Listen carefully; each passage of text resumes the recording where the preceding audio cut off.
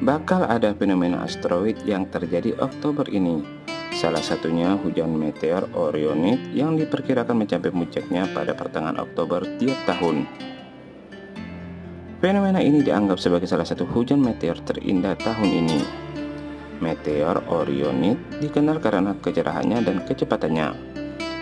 Meteor ini bergerak cepat melaju dengan kecepatan sekitar 148.000 mph atau 66 km per second ke atmosfer bumi. Meteor cepat dapat meninggalkan kereta bercahaya atau serpihan puing pijar di belakang meteor yang berlangsung selama beberapa detik hingga menit. Meteor cepat terkadang juga dapat berubah menjadi bola api.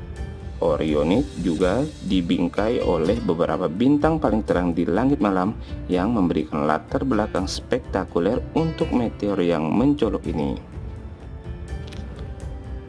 Hujan meteor Orionid akan berlangsung selama 2 Oktober sampai 7 November 2024 dan akan mencapai puncaknya pada 21 Oktober 2024. Saat puncak diperkirakan akan muncul sebanyak 20 meteor per jam. Titik radian atau titik di langit tempat Orionid muncul adalah konstelasi Orion.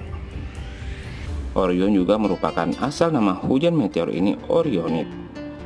Konstelasi yang menjadi asal nama hujan meteor hanya berfungsi untuk membantu pengamat menentukan hujan meteor mana yang mereka lihat pada satu malam.